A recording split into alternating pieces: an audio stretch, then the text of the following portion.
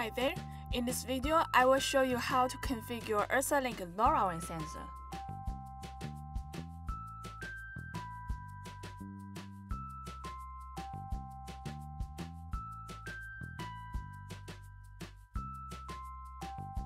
First, remove screws on the button of the sensor and take off the upper case.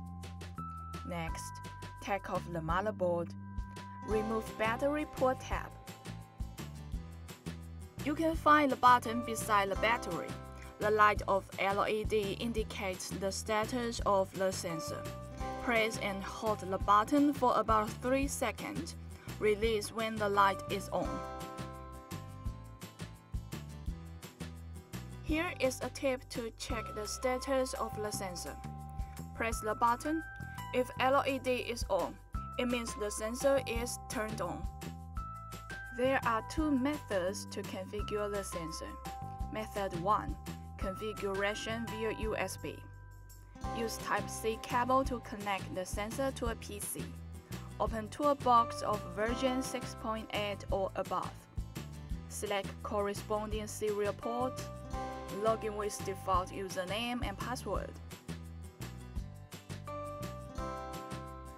Click Power On to turn on the sensor.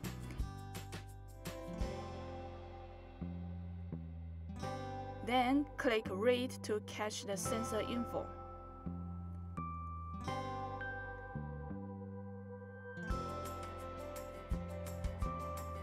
Open LoRaWAN settings. On the Basic tab, you can view device EUI and app EUI. Choose join type, change app key, turn on or off ADR. On Channel tab, you can change frequency, choose a support frequency, select a channel and add the frequencies you need. Click Device Settings. On the Basic tab, you can set up a reporting interval. Change login password.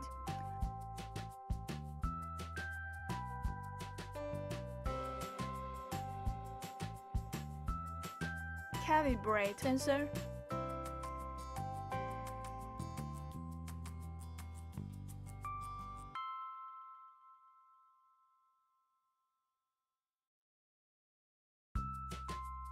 and set up threshold alarm.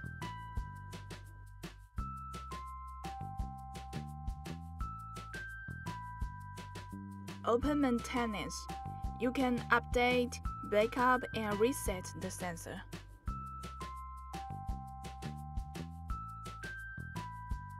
The other way to configure the sensor is via NFC.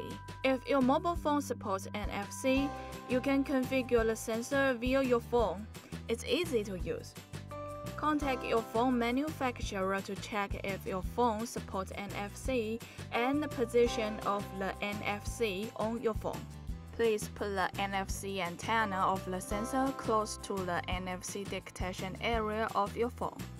In the process of reading, do not move your phone away.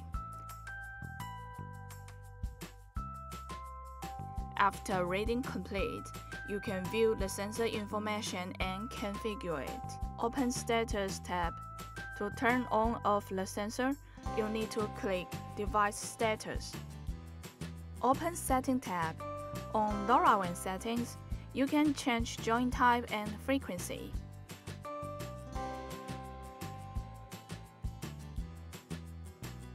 On General settings, you can change reporting interval, change password, calibrate sensor,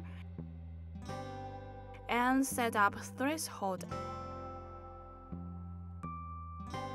After the configurations are done, you need to verify the password to continue.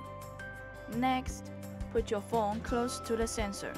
The configuration info will be written into the sensor via NFC. To configure the sensor on a PC, you need an NFC reader and connect it to your PC. Put the sensor close to the NFC reader. Open Toolbox of version 6.8 or above. The configuration via NFC is the same as configuration via Type-C cable. Please refer to the previous guide. If you have any questions, please feel free to contact us. See you next time.